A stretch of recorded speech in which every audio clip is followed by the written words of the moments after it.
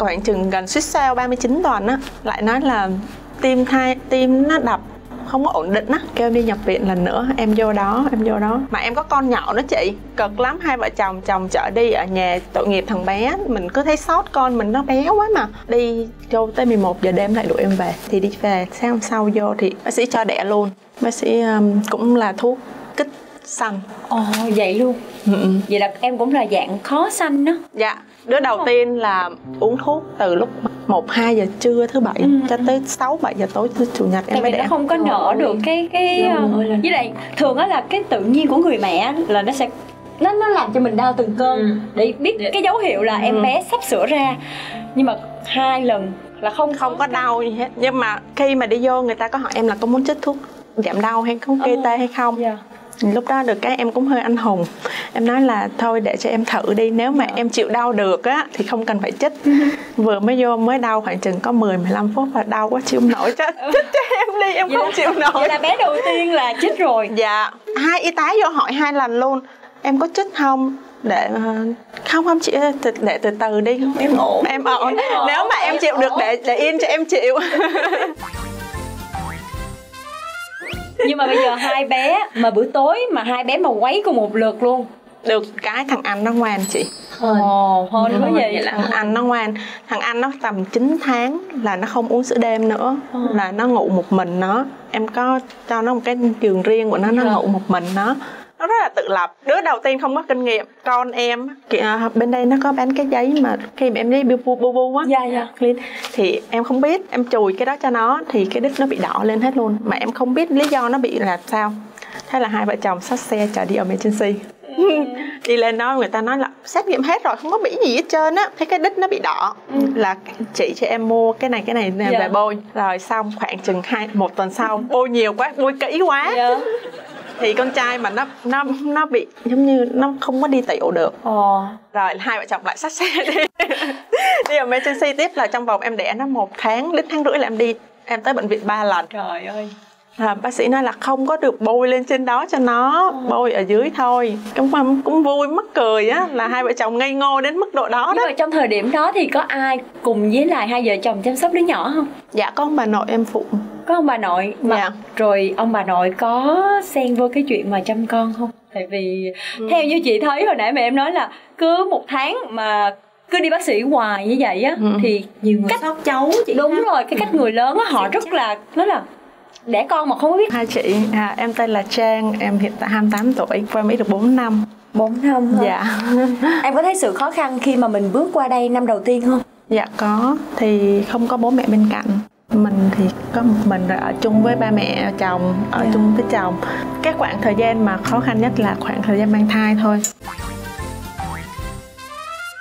Rồi khi mà biết tin mình mang thai á em có bị sốc hay là em vui mừng? Không em thì là tháng nào em cũng mua que thử hết. Trời ơi tại vì là nôn có em bé dạ.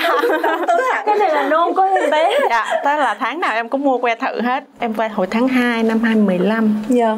Thì tới tháng 7 là em biết là có có em bé em bé thì em vừa mới biết em mới đặt hẹn bác sĩ là đi khám thôi nhưng mà yeah. Dạ. cũng chưa kịp đi tới khám thì khoảng chừng một hai ngày sau nó bị chảy máu nó bị hư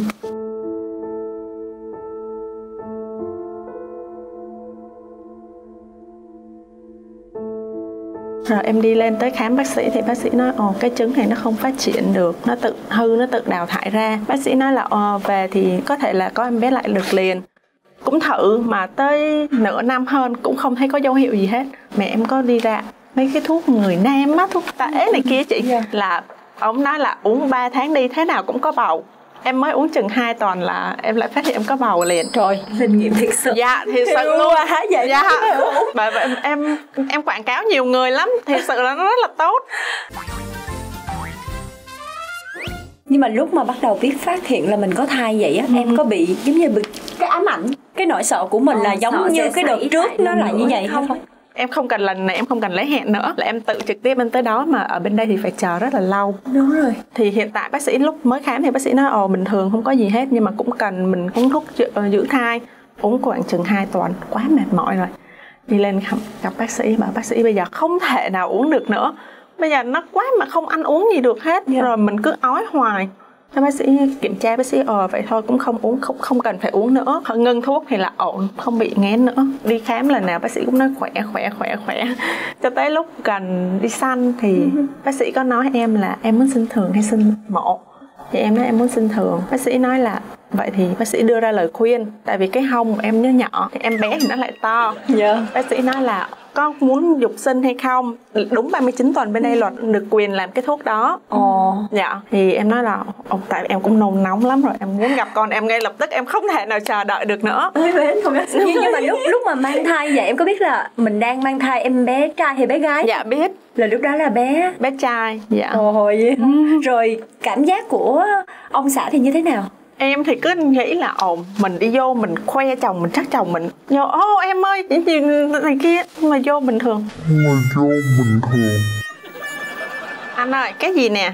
Xong đưa cho coi.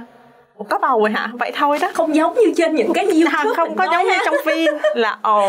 Vỡ oa Có không cảm thấy tuổi thân không? Không thì tại vì chồng em thì cái kiểu cách như vậy rồi. Cái gì cũng từ từ từ từ từ từ. Chắc là thì nghĩ là hai vợ chồng có cái tuổi chênh lệch với nhau đúng không? Dạ. Ảnh lúc nào cũng trầm trầm hết. Dạ chồng em lớn em 10 tuổi. Ồ 10 tuổi đâu có đâu có đâu có xa đâu.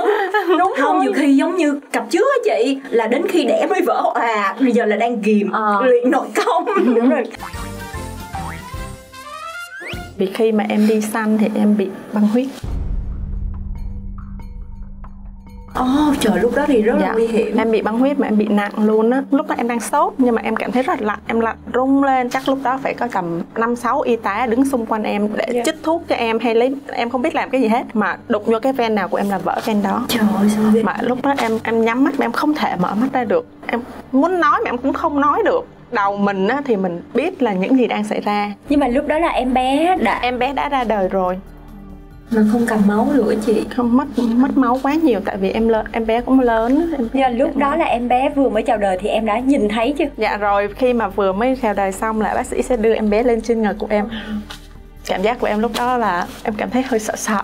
Tự nhiên có cái cục nó tông lên người em tại vì em bé cũng còn máu me nhiều á chị. Nhìn nó cũng sợ mà mình choáng qua một hai giây thôi là mình sợ xong bắt đầu mình lấy tay mình ôm vô thì sau đó là em bắt đầu bị máu huyết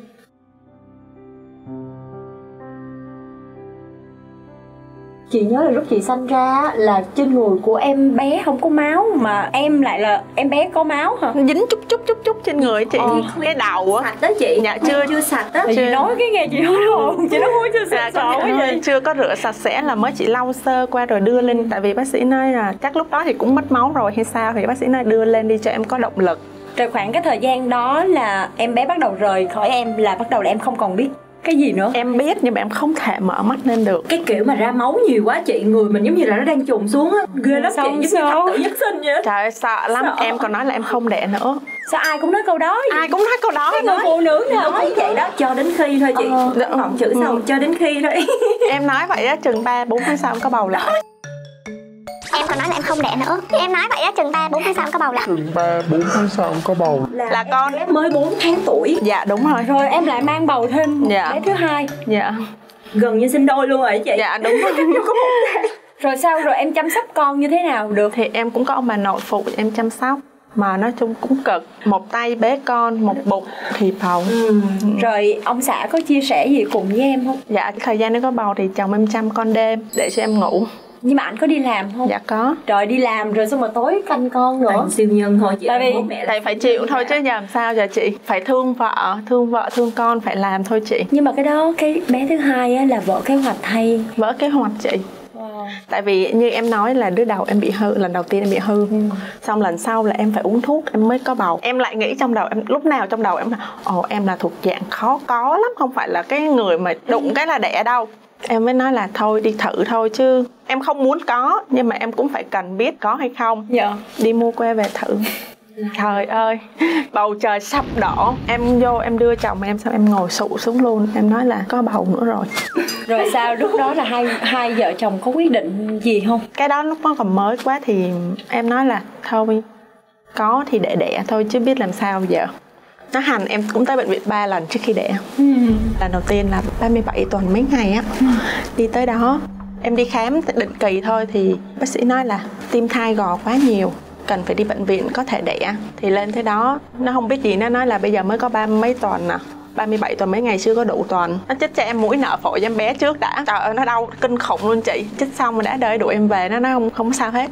Chưa có dấu hiệu đẻ đâu. Rồi xong tới 38 tuần mấy ngày khoảng chừng gần suýt sao 39 tuần á lại nói là tim thai tim nó đập không có ổn định á kêu đi nhập viện lần nữa em vô đó em vô đó. Mà em có con nhỏ nữa chị cực lắm hai vợ chồng chồng chở đi ở nhà tội nghiệp thằng bé mình cứ thấy sót con mình nó béo quá mà. Đi vô tới 11 giờ đêm lại đuổi em về thì đi về sáng hôm sau vô thì bác sĩ cho đẻ luôn.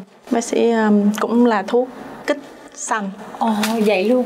Ừ. ừ. vậy là em cũng là dạng khó sanh đó. Dạ đứa đầu tiên là uống thuốc từ lúc một hai giờ trưa thứ bảy ừ. cho tới 6 7 giờ tối thứ chủ nhật em Tại mới đẻ. nó không có nở được cái cái uh, với lại thường á là cái tự nhiên của người mẹ là nó sẽ nó nó làm cho mình đau từng cơn. Ừ. để biết cái dấu hiệu là em ừ. bé sắp sửa ra. Nhưng mà hai lần là không không có đau gì hết. Nhưng mà khi mà đi vô người ta có hỏi em là có muốn chích thuốc giảm đau hay không kê tê hay không? Yeah dạ lúc đó được cái em cũng hơi anh hùng. Em nói là thôi để cho em thử đi nếu mà em chịu đau được á thì không cần phải chích. Vừa mới vô mới đau khoảng chừng có 10 15 phút và đau quá chịu không nổi chết chích cho em đi em vậy không là, chịu nổi vậy là bé đầu tiên là chích rồi. Dạ. Hai y tá vô hỏi hai lần luôn em có chích không? Để không không chị để từ từ đi. Em ổn. Em ổn. Nếu mà em chịu được để để yên cho em chịu nhưng mà bây giờ hai bé mà bữa tối mà hai bé mà quấy cùng một lượt luôn. Được cái thằng anh nó ngoan chị. Ồ, thôi quá vậy. là thằng anh nó ngoan. Thằng anh nó tầm 9 tháng là nó không uống sữa đêm nữa. Ừ. là nó ngủ một mình nó. Em có cho nó một cái giường riêng của nó nó ngủ một mình nó nó rất là tự lập. Đứa đầu tiên không có kinh nghiệm. Con em à, bên đây nó có bán cái giấy mà khi mà em đi bu bu bu á. Dạ dạ. Thì em không biết em chùi cái đó cho nó thì cái đít nó bị đỏ lên hết luôn. Mà em không biết lý do nó bị là sao. Thế là hai vợ chồng xách xe chở đi emergency. Ừ. đi lên đó người ta nói là xét nghiệm hết rồi không có bị gì hết trơn á. Thấy cái đít nó bị đỏ. Ừ. là chị cho em mua cái này cái này về yeah. bôi. Rồi xong khoảng chừng hai một tuần sau bôi nhiều quá bôi kỹ quá. Yeah thì con trai mà nó nó nó bị giống như nó không có đi tiểu được. Ờ. rồi hai vợ chồng lại xách xe đi. Đi ở emergency tiếp là trong vòng em đẻ nó một tháng đến tháng rưỡi là em đi em tới bệnh viện ba lần. Trời ơi. À, bác sĩ nói là không có được bôi lên trên đó cho nó ừ. bôi ở dưới thôi. Cũng cũng vui mắc cười á là hai vợ chồng ngây ngô đến mức độ đó Nhưng đó. mà trong thời điểm đó thì có ai cùng với lại hai vợ chồng chăm sóc đứa nhỏ không? Dạ ông bà nội em phụ có ông bà nội. Mà dạ. rồi ông bà nội có xen vô cái chuyện mà chăm con không? Tại vì ừ. theo như chị thấy hồi nãy mẹ em nói là cứ một tháng mà cứ đi bác sĩ hoài như vậy á ừ. thì nhiều người cách... sót cháu chị đúng ha. rồi cái cách người lớn á họ rất là nói là đẻ con mà không có biết cách chăm á. Được cái ông bà nội thì cũng không đến nỗi chị. Cái tùy em thôi em muốn làm sao em làm. Vậy là em may mắn rồi. Dạ. Có nhiều lần chỉ có một cái thôi là nhiều khi em bé nó khóc quá. Ừ thì em cũng đang dỗ vậy, em cũng đang cố gắng hết sức em dỗ cho nó nín vậy. Thì nhiều khi bà nội ông bà nội sót quay lại đi vô hỏi sao không dỗ nó nín đi? Mình thì mình, tâm lý lúc đó mình cũng không được bình thường, nhiều khi mình bực mình thôi. Nhưng mà em thì em cũng không nói, em chỉ để trong lòng em bực mình. Ngay lúc đó em nói, em nghĩ trong lòng, trời ơi, đang cố gắng hết sức dỗ nó đây nè. Còn cái đứa thứ hai này thì lại với nó tới hiện tại bây giờ một tuổi rưỡi rồi mà nó vẫn đòi uống sữa đêm thì em bắt đầu cai cái sữa. Ừ, cai được thôi. mình cai mình chỉ mình phải nó nó uống sữa ngoài chứ nó không uống sữa em. Mà khổ bây giờ mình cho nó nhận thằng kia nó nghe thấy nó khóc. Ồ oh. quá. Đó là lý do mình phải chịu. đó, đó. Cái kiểu sinh đôi nó cũng bị vậy đó chị. Một đứa ổn rồi đứa này có vấn đề là đứa kia nó có khóc theo. Dạ đúng nó rồi. gần nhau ừ. quá nó đâu có tự chủ được mấy chuyện đó đâu. Ừ. cũng có khổ quá ha hai dạ. vợ chồng. Nhưng mà được cái chị thấy bên đây con nít á có một mình đâu có đi đi ra ngoài chơi như ở Việt Nam đâu chị. Được cái thì em thấy là ồ em đẻ hai đứa liền. Vậy giờ tụi nó chơi với nhau cũng đỡ. Em đi làm hay là quyết định ở nhà chăm hai đứa nhỏ? Em à, một nửa tuần em đi làm một nửa tuần em ở nhà. Công việc của em? Ờ em à, phụ cho cậu em á. Cậu em có một cái tiệm nail á em thấy yeah. em dạ. phụ. Dạ. Nhưng mà khi như vậy thì rất là ảnh hưởng mấy đứa nhỏ là tại vì cái bột á. Dạ. Thì được biết là với bột nail thì nó rất là ảnh hưởng mà con thì đang còn nhỏ như dạ không em mới đi làm đây thôi. Ồ. Dạ thì cũng tại nó cũng bắt đầu nó chững chững chững chững ừ, ừ, ừ. thì ờ, mình cũng đi làm lại. Thực ra đi làm thì đỡ bị stress hơn dạ đúng, đúng rồi ở nhà không chắc khùng luôn. Đúng rồi ở bên không rồi bốn bức tường nữa chị ơi kinh khủng lắm.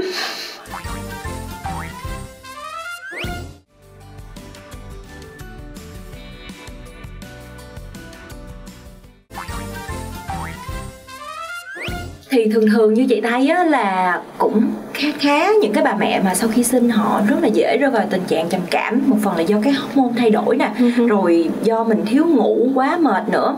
Đó sẽ dẫn trầm cảm thì không biết trang như thế nào. Em thì cứ tầm giấc chiều đổ đi. Ừ. em không hiểu lý do sao em cứ bị khóc.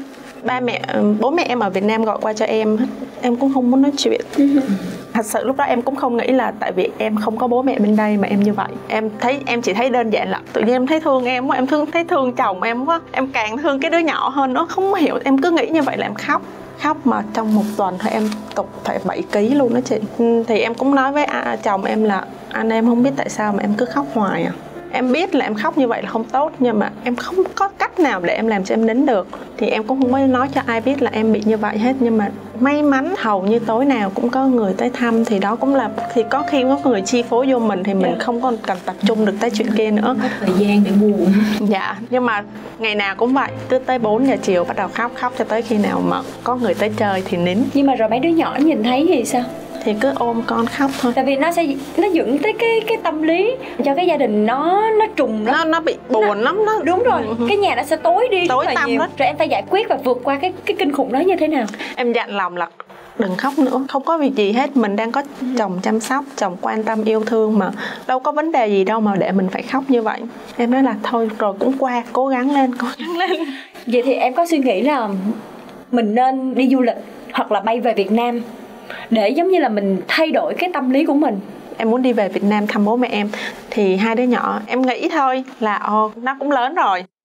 Thì cho nó về được. Dạ. Một cực hình trên cái chặng đường đi máy bay đó của em. Cực hình của em sao? Nghe nó chữ cực hình nghe dễ sợ. em. một nách hai con. Ủa chứ lúc đó chồng em không về chồng em về theo nhưng mà nó không theo ba nó theo mẹ. Hai đứa đứa nào cũng quấn em hết. Có bà nội nữa mà nó không theo bà nội nó không theo ba. Nó khóc mà trời ơi. Không coi như em không ăn không uống không ngủ. Mười mười mấy tiếng đồng hồ đi máy bay. Suốt cái chặng bay là hoàn toàn không gì luôn dạ rồi sau đó em về tới nhà em. Dạ. Đêm đầu tiên em không ngủ được. Ừ. xong sang ngày hôm sau hình như em cũng không ngủ được luôn. Đến ngày thứ ba thì buổi trưa hôm đó mấy mẹ con trong phòng mà thằng con em nó quấy quá, em không chịu được, em tức. Em bực mình, em không làm, em không không thể nào làm sao cho nên điều em la ầm nhà lên, tại vì lúc đó có ba mẹ con trong phòng thôi, tại vì để cho tụi nó ngủ để em dỗ tụi nó ngủ. Bố mẹ em chắc cũng hết hồn. Hai mẹ em vô bế cái con bé nhỏ đi.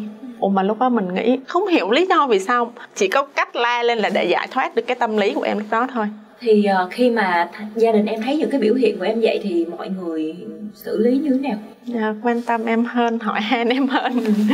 Rồi nhưng mà lúc đó có sợ không? Tại vì cái cách la của em em nghĩ chắc sợ đó tại vì chưa thấy bao giờ đâu. Tại vì cái đó là cái sự stress dạ. sự trầm Bùng cảm nổ. của người Dạ. phụ nữ nó kinh Dạ. khủng lắm. Như bây giờ em nghĩ lại em có cảm thấy mình hối lỗi không? Thấy có lỗi với hai đứa nhỏ không không thì lúc đó em đâu làm gì tụi nó đâu chị. Em Ờ, chỉ có la em thôi.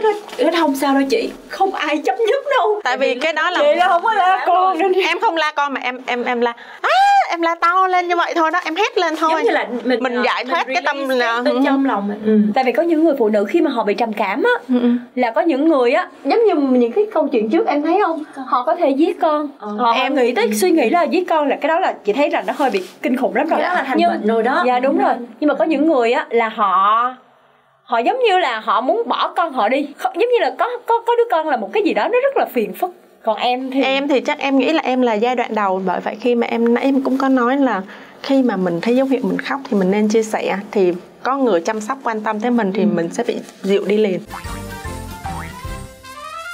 sau khi sanh xong thì cái sức khỏe của em nó có giảm đi không hiện tại thì em vẫn chưa thấy có thì gì đúng hết. rồi em còn trẻ.